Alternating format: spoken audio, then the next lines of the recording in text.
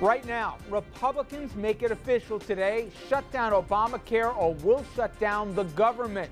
But the GOP is now a House divided, so the question is what happens next?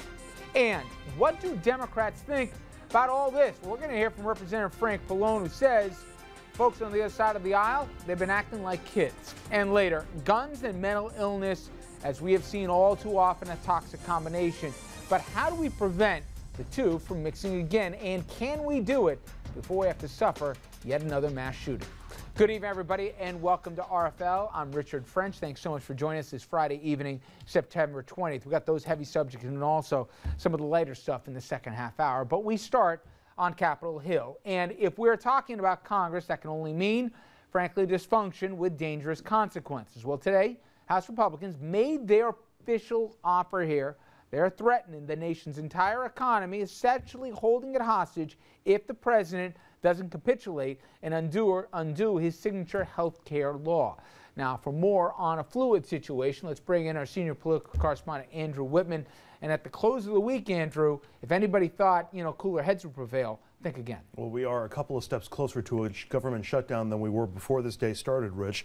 For weeks, it was a strategy that sounded good at Tea Party rallies and GOP town hall meetings, but that not many people seriously thought would come to pass. Today, House Republicans pushed through a vote aimed at giving the president a choice your government or your health care law. House Republicans did a victory lap. This morning, they passed a bill to keep the government up and running after funding runs out at the end of the month.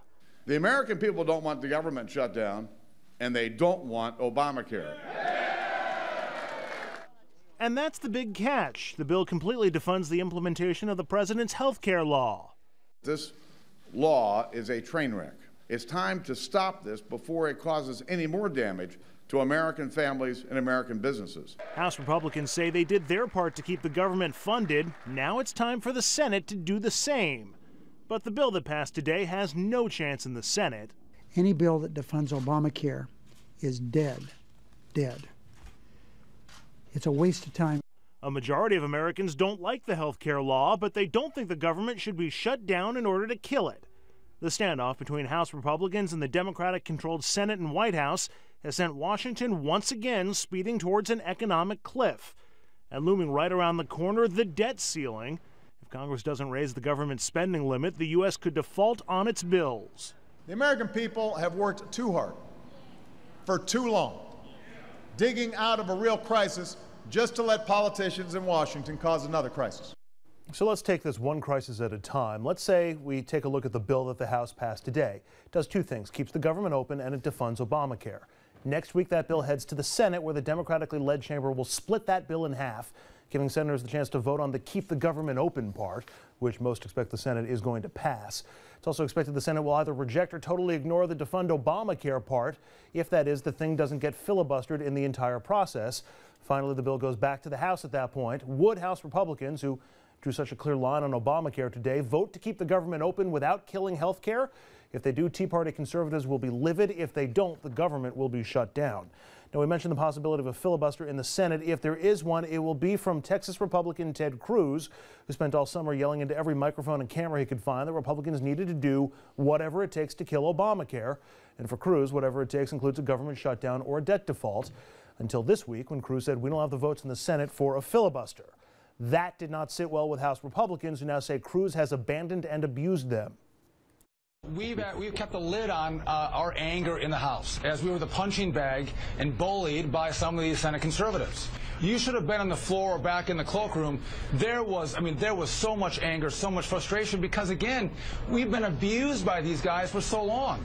And uh, what, I, what, I, what, I, see happening now is people coming out and calling them out for the hypocrisy uh, of these big, tough conservatives who, uh, who know how to fight but will never get in the ring.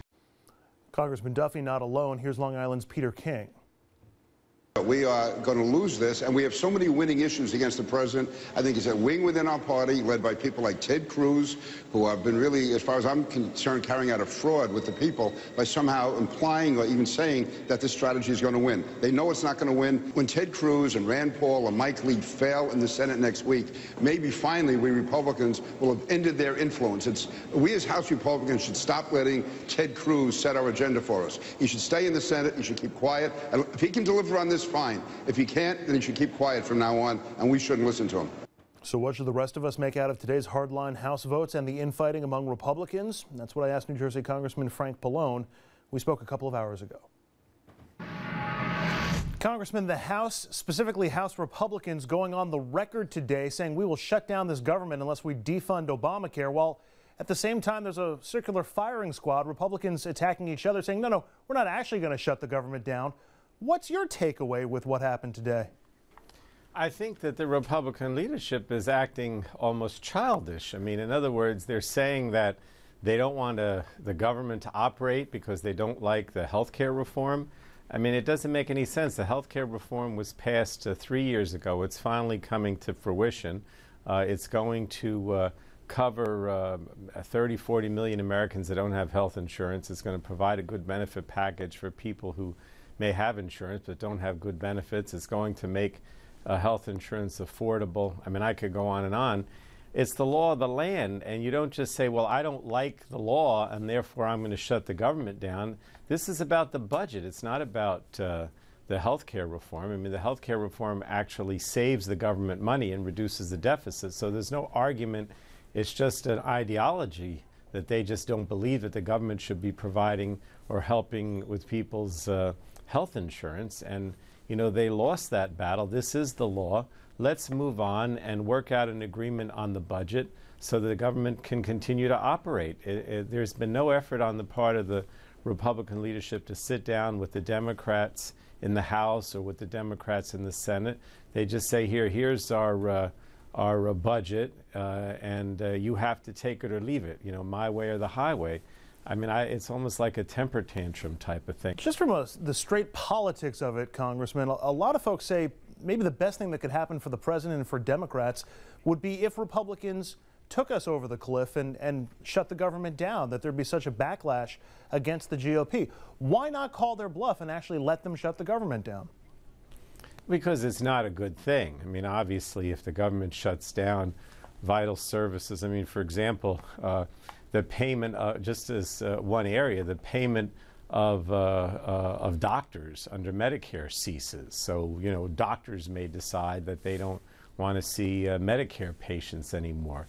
Uh, you know, everything grinds to a halt. There's a real danger, whether it's Homeland Security or defense or whatever it is, of the programs that, you know, that take care of people in need, like Meals on Wheels, senior centers. I mean, anything uh, nutrition programs, uh, all these things come to a grinding halt. And it's not a good thing for the country or for the economy.